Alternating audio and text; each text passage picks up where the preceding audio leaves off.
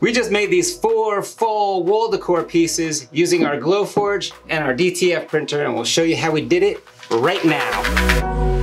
What is up? Welcome back. Do you like to do a build it and make it? So do we. And we have a new video each week.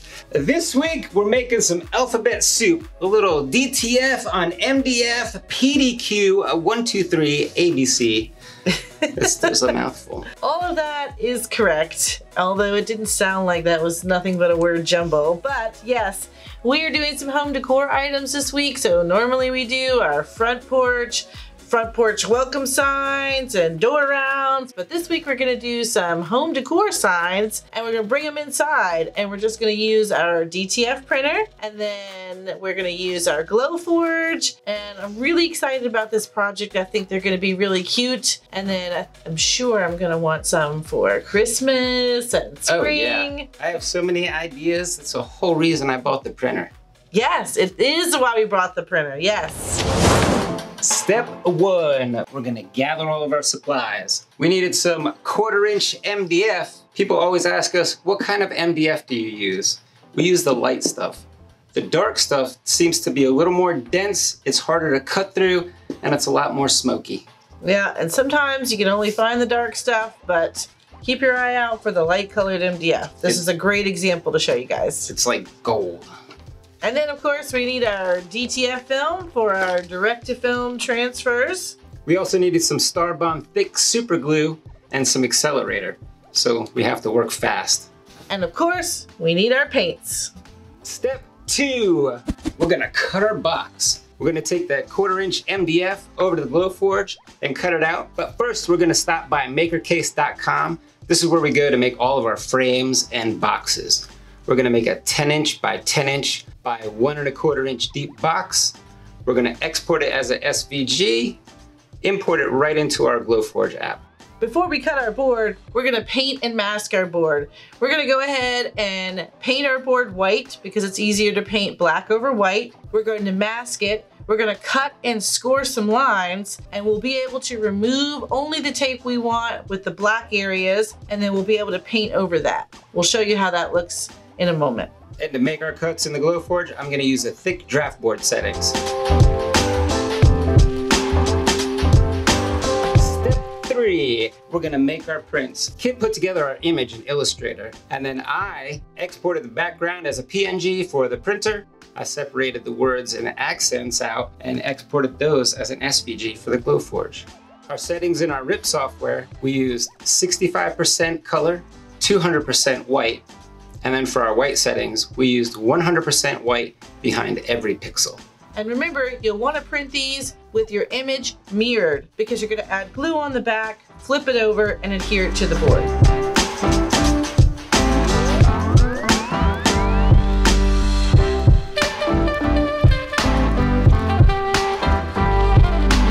Step four, we're gonna press our prints. Now that our images are all shaked and baked, we're gonna slap it up, flip it, and press it down. We're gonna press each one of them for 10 seconds at 300 degrees. 10 seconds is such a small number, it throws me every time.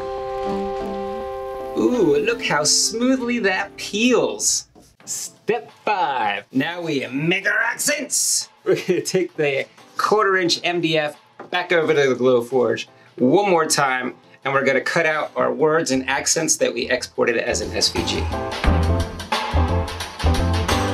And then we're going to take our DTF backers, put them back in the Glowforge, and we're going to add score marks so we know where these words and accents go on our backers. We're gonna use the board that we cut it out of earlier. We're gonna put the board in there. This way we know it's straight, and we're gonna use the cardboard score settings. I just wanna score it lightly. This way we'll have perfect letter placement when we go to put the letters down. Step six. Now we paint. We're gonna paint our sides, accents, and words. Uh, not using this brush though, it's too big. Remember we talked about the masking on the sides. So we've got a cool little lattice pattern here that we're going to paint over. So we're gonna remove the masking for the sections that I want painted black. We'll leave the masking on the areas that we wanna remain white. We'll paint it and then peel the whole thing up, revealing our lattice pattern.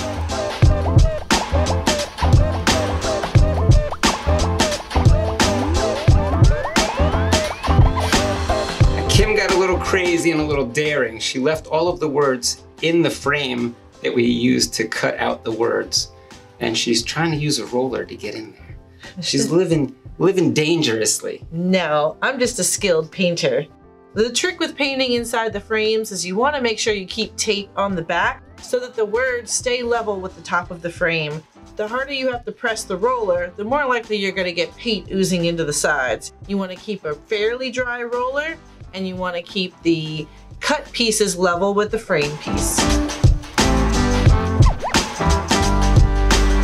Step seven, time to assemble it. We're gonna use that Starbond Thick and the accelerator to glue together the sides. Then we're gonna add the top. Then we'll glue on all of the words and the accents to make it pop. And now for this MDF, when you add the accelerator, it'll look like it's drying before he ever gets to place the piece down on the frame. But don't worry, it still works and it's gonna hold that frame right where you set it. You get about two seconds of working time, but after that, it's good to go. You can pick it up and move it and not have to wait for that glue to dry for 30 seconds to a minute.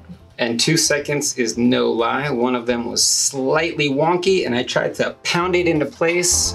No lie.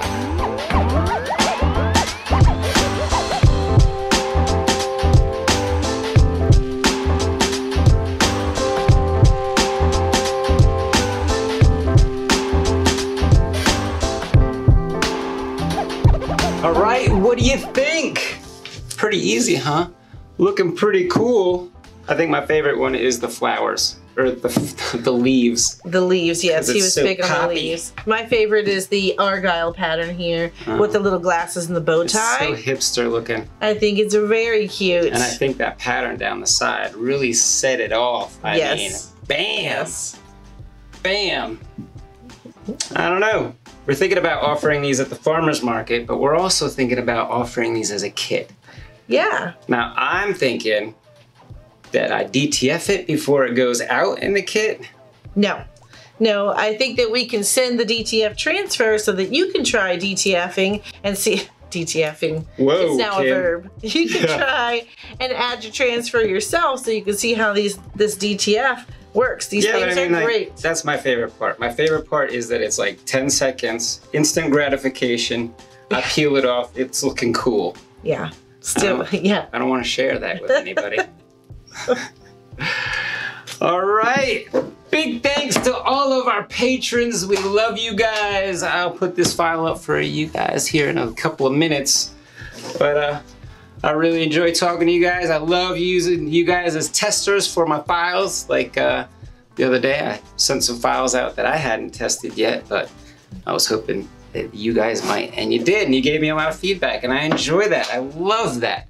I fixed it up, made the file way better. Well, we're about out of time, so if you're not gonna join us for the patron after show, we will see you next week where we'll do it, build it, and make it again. Oh, and join us on Tuesdays where we do Test Cut Tuesdays. This is where I don't use the patrons as a guinea pig. I am my own guinea pig. And And- Tuesdays, if you, that's our fun interactive time. Oh, so if you have questions or, I don't know, just want to come chat with us, Just come see chat with we're us up on the to. live. Yeah, come see what's up. Tell us what the temperature is in your area. I love hearing that.